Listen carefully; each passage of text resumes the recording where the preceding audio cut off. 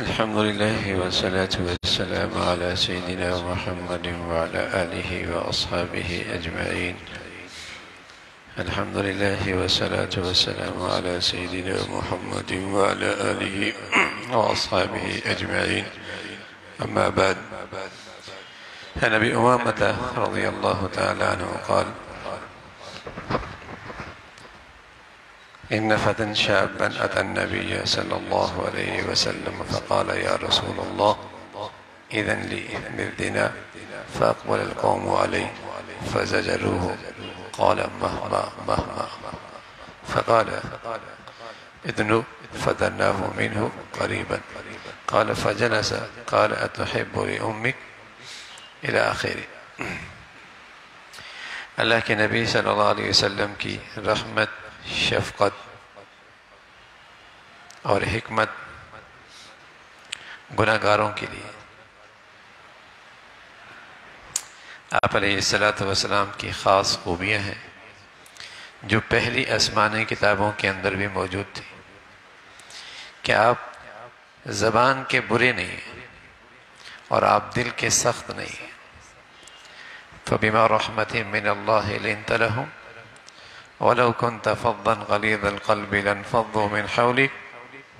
फ़ाफ़ु अनहुम वस्तग़फिर लहुम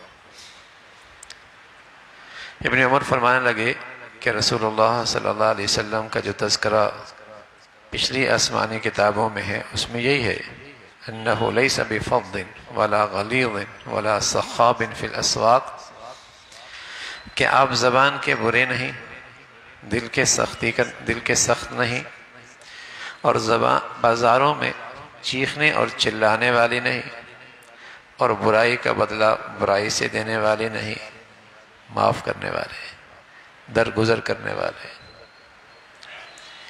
ख़ास तौर पे अल्लाह करीम ने फरमाया कि ये अल्लाह का आप पर बड़ी, आप पर अल्लाह की बड़ी रहमत है कि आप लोगों के लिए मेहरबान हैं। और अगर आप ज़बान के अच्छे ना होते और दिल के सख्त होते तो लोग आपके करीब ना होते। ये जो आपसे मोहब्बत करने वाले दाएँ बाएँ बैठे हैं, ये आपकी इन्हीं आला अखलाक की बुनियाद पर है। आप ज़बान के मीठे हैं, दिल के बड़े मेहरबान हैं। आप दिलो जान से बड़े खैर खा हैं, यही आला अखलाक है। तो एक नौजवान आया और आपकी मजलिस में आया और कहने लगा, या रसूल अल्लाह मुझे जिना की इजाज़त दे कितनी बड़ी बात कह दी उसने। उस मजलिस का अदब और आप सलाम जैसी हस्ती और ऐसी गिरी हुई बात तो लोग उसे घूरने लगे। करीब था कि उसे पकड़ लेते। आप सलाम ने फरमाया छोड़ो छोड़ो इसको। इसे मेरे करीब करो। करीब आ गया। हजूर अली सलाम के पास बैठा। अब आप अली सलाम ने बात शुरू की। जब किसी गुनाह के बारे में अल्लाह से भी डराया जाए, मरने के बाद की ज़िंदगी से भी डराया जाए, और साथ ही अकली तौर पर भी समझाया जाए तो गुनाह से बचना आसान हो जाता बुराई से बचना आसान होता बस अवकात मरने के बाद की ज़िंदगी पे ईमान कमज़ोर होता है। तो वहाँ की सज़ा, वहाँ की रसवाई, वहाँ का अजाब ये आदमी के अंदर इतनी रुकावट नहीं पैदा करता। लेकिन अगर उसे अकली तौर पर भी समझा दिया जाए, उसकी बुराई, उसकी शनात तो फ़र्क पड़ता है। और फिर अगर साथ साथ उस बुराई के जो असरात ज़िंदगी में है, इस दुनिया में वो भी बता दी जाए, कबूलियत और आसान हो जाती उस दावत में और इस नसीहत में असर ज़्यादा होता है। जैसे हजूर सलात वसलाम फरमाया करते थे, अफू तयफु निसा अगर तुम चाहते हो कि तुम्हारी बेटी, तुम्हारी बीवी, तुम्हारी वालदा, तुम्हारे घर की औरतें पाक दामन रहें तो फिर तुम पाक दामन बन जाओ।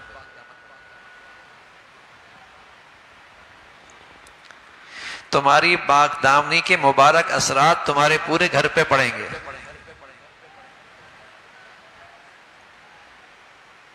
इसलिए वो तुम्हारी इज़्ज़त है, वो तुम्हारी आबरू है,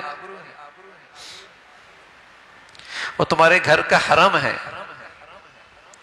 अब तुम्हें वहाँ रसवाई ना हो, उससे पहले फिर तुम्हें कुछ करना होगा। तुम्हें साफ़ सुथरा रखना होगा।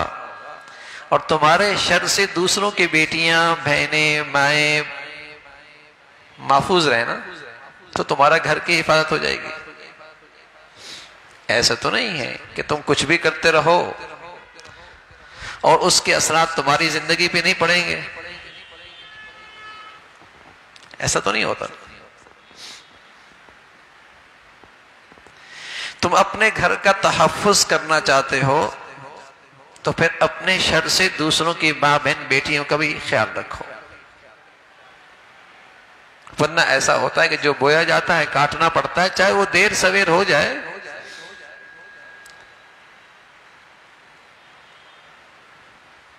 लेकिन उसके असरात फिर पड़ते हैं। तो प्यारे रसूल सल्लल्लाहु अलैहि वसल्लम ने इस अंदाज से नसीहत फरमाई। अकली तौर पर भी उसके नुकसान बात नसीहत असर करती है। डांटा नहीं, बुरा भला नहीं कहा दुत्कारा नहीं, गुस्से नहीं हुए। बुराई से नफरत ज़रूर हो, बुरे से नहीं। बुराई से नफरत हो, बुरे से नहीं। गुनाह से नफरत ज़रूर हो गुनागार से नहीं। क्या पता? वो गुनागार कैसी तोबा कर ले बड़े बड़े नेकोकारों से आगे बढ़ जाए। उसकी खलवत और तन्हाई का एक आँसू मेरे सैकड़ों नवाफिल पे भारी हो जाए। मौला के खजाना में तो कोई कमी नहीं है ना।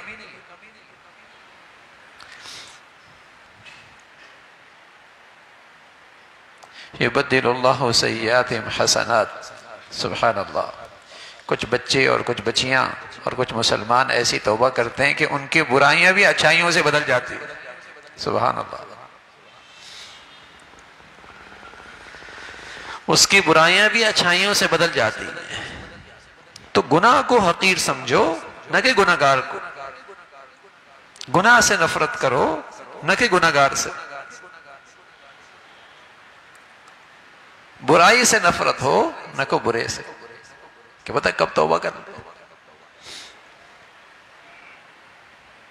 और कब अपने गुनाहों पे नादिम हो जाए। असल तो मंजिल है ना, खात्मा ईमान पे हो जाए। अगर मैं पाँचवें सीढ़ी पे हूँ और कोई आदमी पहले सीढ़ी पे है तो मुझे इतराना नहीं चाहिए। क्या पता ये पाँचवें वाला आठवें पे जाकर नीचे गिर जाए और पहली वाला जाके मंजिल पे पहुँच जाए। अपनी नेकी पर दूसरों को हकीर न समझे। कि अगर ये दूसरी सीढ़ी पे है और तुम आठवीं सीढ़ी पे हो और नौवे पे जाके तुम नीचे गिरो और ये दूसरी वाला मंजिल पाले। मामला तो खात्मे का है ना। मामला तो खात्मे का है। कि खात्मा किसका कितना अच्छा? इसलिए किसी को हकीर ना जानो। हाँ बुराई से नफरत हो। बुराई से नफरत।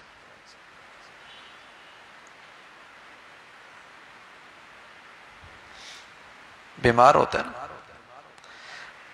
आप बुराई, बीमार की, बीमारी तो नहीं पसंद करते। लेकिन बीमार से तो नफरत नहीं करते ना।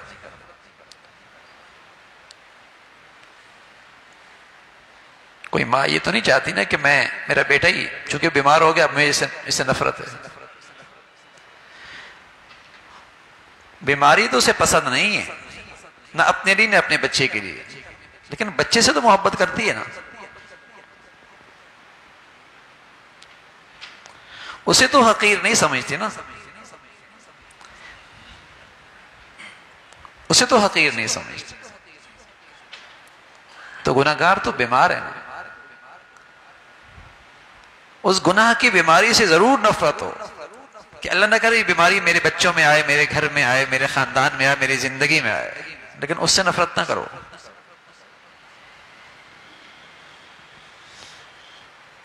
उससे नफरत ना करो। तो प्यारे रसूल सल्लल्लाहु अलैहि वसल्लम की खिदमत में वो आकर कहने या रसूल्ला इजाज़त दें।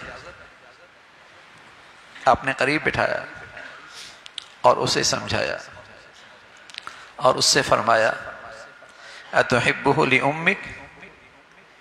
क्या जो ये तू करना चाहता है, तुझे अपने माँ के लिए ये पसंद है? कला वल्लाही, अल्लाह की कसम, ऐसा नहीं, मेरे माँ बाप आप पे कुर्बान। तो फरमाया, फिर लोग भी तो नहीं चाहते कोई उनकी माँ के साथ ऐसा करे।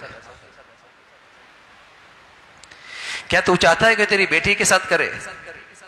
कला, वल्लाह या रसूल अल्लाह अल्लाह की कसम, ऐसा नहीं। मेरे माँ बाप आप पे कुर्बान। फरमाया, लोग भी तो नहीं चाहते कोई उनकी बेटियों के साथ ऐसा करे। अल्लाह के नबी सल्लल्लाहु अलैहि वसल्लम ने यूँ सारे रिश्ते गिनवाए। खाला फुफ्फी सबके रिश्ते गिनवाए कि तुम नहीं चाहते तो लोग भी तो नहीं चाहते। किसी के साथ तुम ये हरकत करोगे, किसी की माँ, किसी की बेटी, किसी की बीवी, किसी की खाला, किसी की फुप्पी। और तुम अपने रिश्तों के साथ ये नहीं चाहते। तो लोग भी तो नहीं चाहते।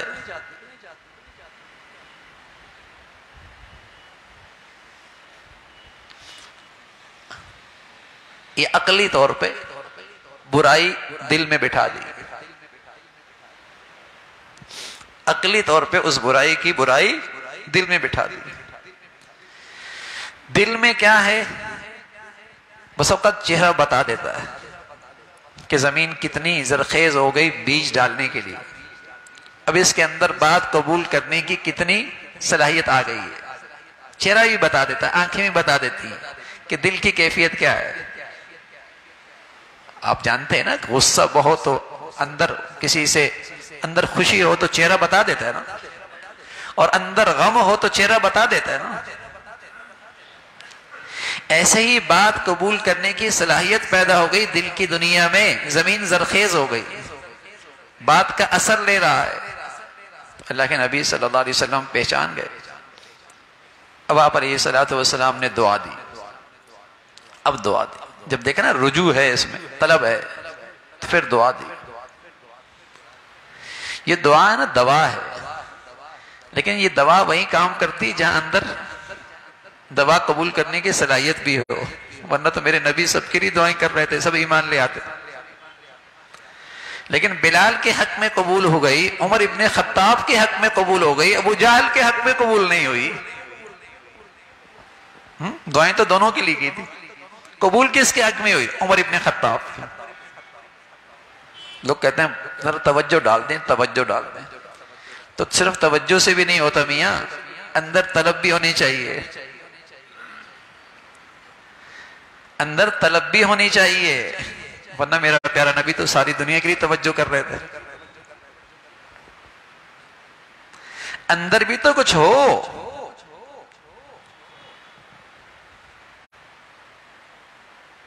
चाहे ना मैं अल्लाह का बनना चाहता हूँ।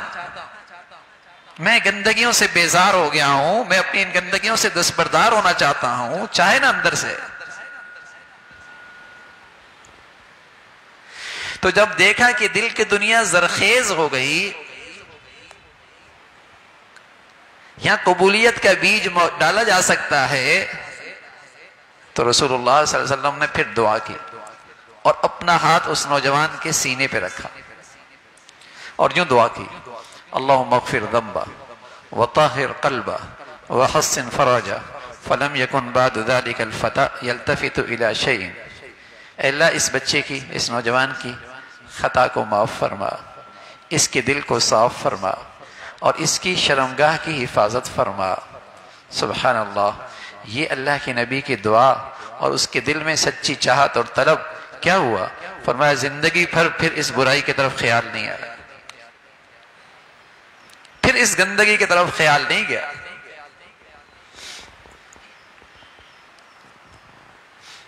हाँ मेरे अजीजों, कोशिश करो, दिल में ये कैफियत पैदा हो जाए। और फिर किसी अल्लाह वाले की दुआ मिल जाए तो सोने पे सुहागा। और अल्लाह वाला तुम्हारा, तुम्हारी वालदा भी हो सकती है, तुम्हारे वालिद भी हो सकते हैं। और भी तुम्हारा कोई खैर खा हो सकता है, जो तुम्हें फिर दिल से दुआ दे दे।